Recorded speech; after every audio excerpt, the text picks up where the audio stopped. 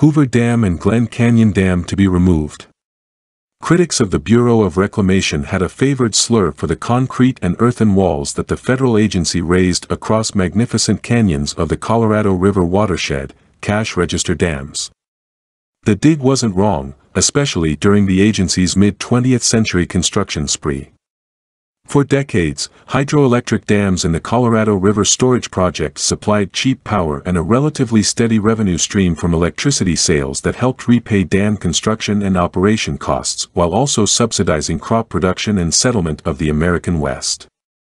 Today, the cash registers are ringing at much lower decibels.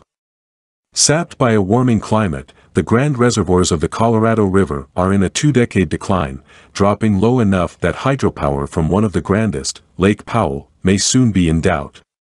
The country's second largest reservoir and a linchpin in the Intermountain electric grid, Powell is more dirt than water these days. The reservoir holds just 27% of its full capacity.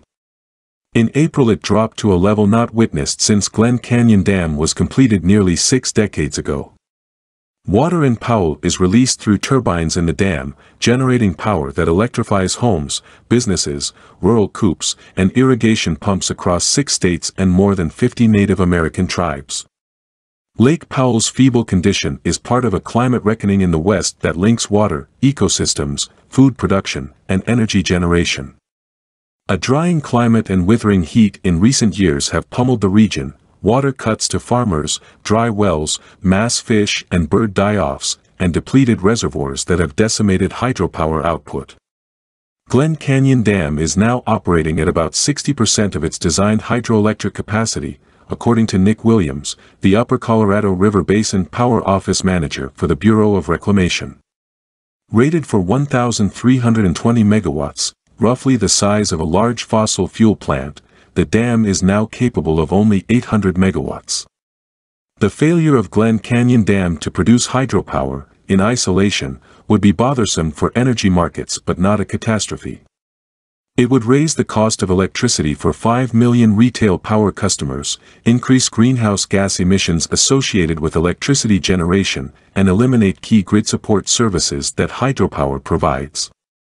But a loss of generating capacity at Glen Canyon at the wrong time, in the summer, for instance, when electricity demands are high, combined with other power station outages could contribute to an electric supply contagion, grid strain, and blackouts in the western states, according to a recent reliability assessment from a national energy watchdog.